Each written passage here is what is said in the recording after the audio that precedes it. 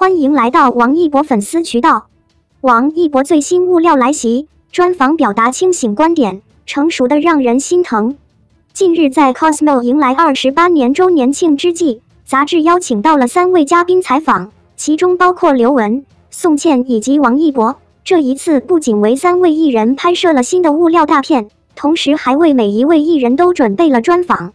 其中关于王一博的访问和物料，一定是期待值最高的。因为前一段时间王一博一直在河南救灾一线，基本都没有出现在大众面前，所以很多粉丝朋友早已经迫不及待的想要看新鲜的王一博了。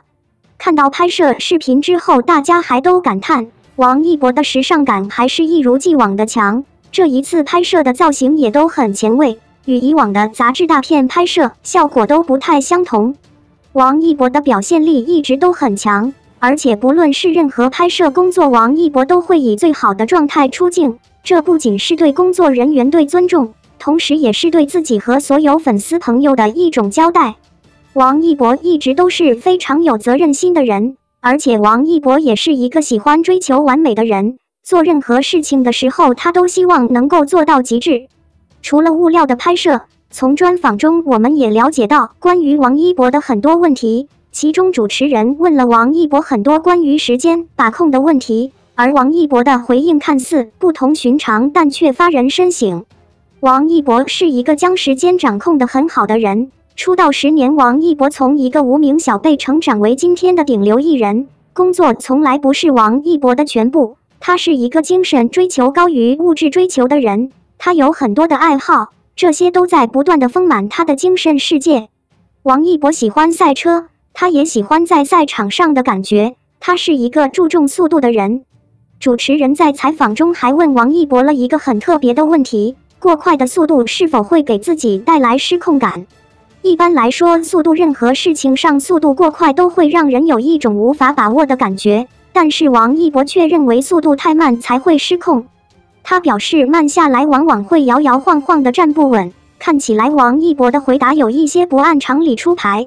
不过认真思考下来，王一博这句话很有道理。快节奏的生活也许会有一些紧迫感，会让大家觉得生活总是忙忙碌碌。但是快起来的生活就像是和时间赛跑，即使大家没有办法彻底把握时间，也能够让生活更充实。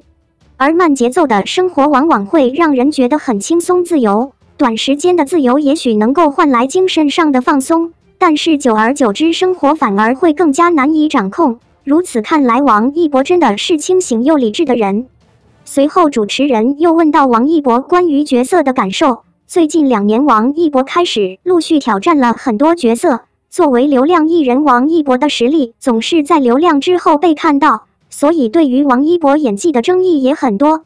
但是，王一博向来都是喜欢行动在前的人，每一次他都会用实际的行动和成绩证明自己。这一次，主持人还提到了让大家都非常兴奋的消息：王一博参加的《这就是街舞》终于要在八月份和大家见面了，舞台王者力量卷土而来，一起等待吧！感谢您观看视频，请订阅该频道以支持我们。